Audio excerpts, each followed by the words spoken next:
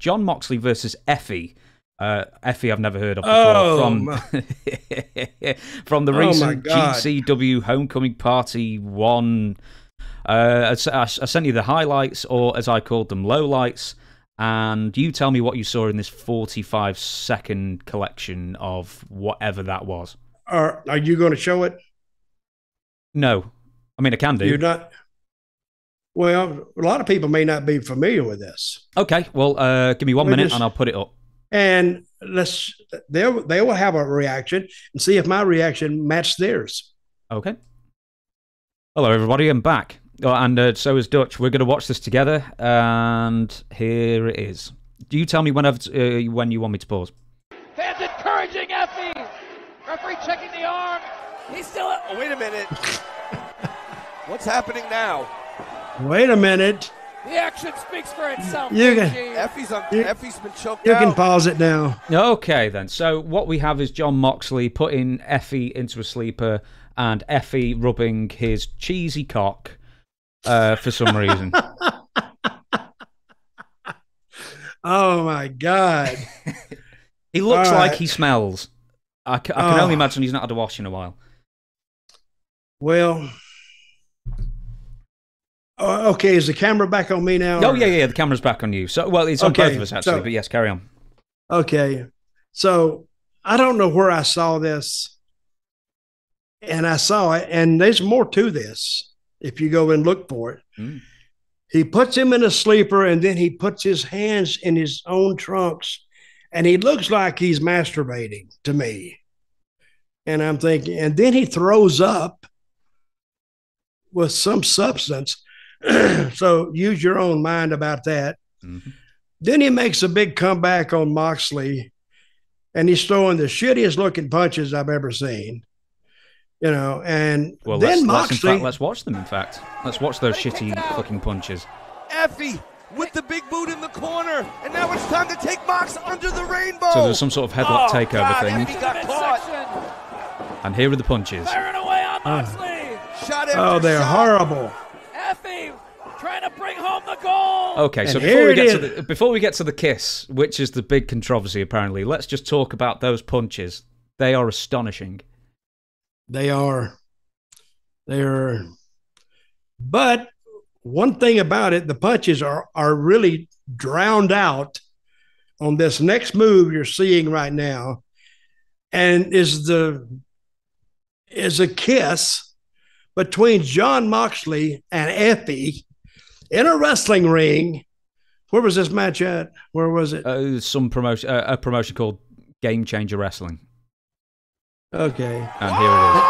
And there, there it is. He kisses him.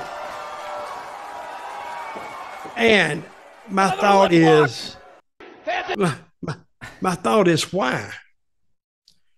Why even, even being this match? To me, I don't know why Moxley agreed to that.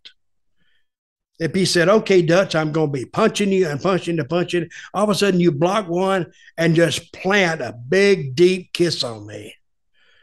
I said, no, I'll plant a big fat boot in your ass is what I'll plant because I damn he looks he looks if I was gay, I damn sure wouldn't be kissing that guy. I mean, but I'm thinking and and everybody that goes to his shows, they're aware of the fact that he's gay. There's nothing to that. But to me, is they really violate my space as a viewer because I can accept that you're gay. I just don't want to see you kiss another guy. And what if I'd have brought a kid with me? And I don't know if that even affects them anymore. They, they see so much stuff anyway.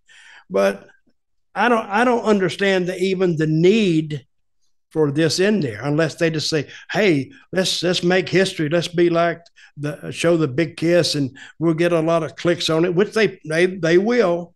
They'll get a lot on it. But me personally, I I, I didn't like it. If I had promoted that show, I'd have fired both of them when they come back because they should have cleared that with me.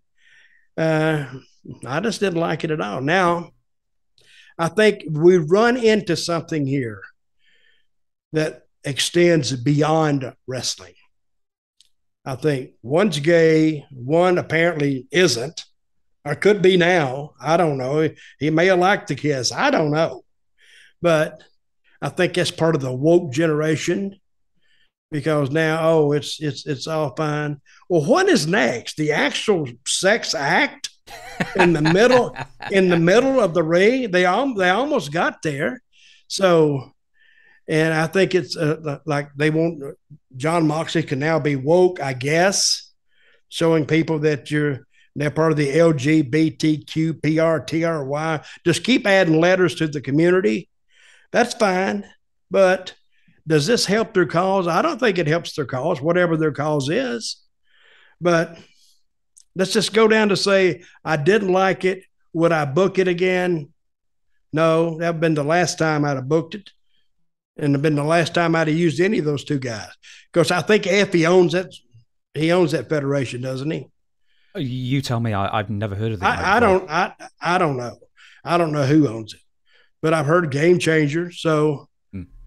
but at least they're staying with the theme of their promotion, Game Changer. I don't know how much it will change the game, but I don't know how that helps wrestling at all. Hmm. I really don't. I've I've got something that bugs me about it. Apart from the fact that I wasn't sort of particularly amazed to watch it, and I thought, well, that's really not a great thing for uh, uh, a wrestling match. Uh, I'm trying to choose my words very carefully. And but here's something: is that if you criticize it, we're in 2022. Yep. Everybody will jump down your throat and say, "Well, if you didn't like it, you must be homophobic." It's yes. Like, well, no, of course not. But do, you know what I mean? It's like now it's because it involves a, a kiss between two men. You cannot criticize it lest lest you are called many many names and many mm-hmm. accusations are thrown at you. Well, I don't give a shit. I don't like two guys kissing it. And it, it, was like you're watching a golf tournament, right? Now, tell me this. You're watching a golf tournament, and all of a sudden one golfer looks at the other, and the other looks at him, and oh my God, they're just overcome with passion. And they kiss right there on the 18th hole. I mean, how does that help the game of golf? It has nothing to do with it. So you mean all these sportscasters, they'd say, well, they kissed on the 18th green and we'll be back in a moment. They got to say something about it. So, hey, I don't I don't mind anybody being gay. I don't. Don't don't intrude on my space and think that I may enjoy watching two men kiss because I don't like that. And if, if they can consider that homophobic, then I'm homophobic. I don't I don't care. So, but I I, I don't know the spot for it, other than it is to push a certain agenda. And whether they'll get that, I don't know. I, I think they hurt their cause more than they helped their cause there.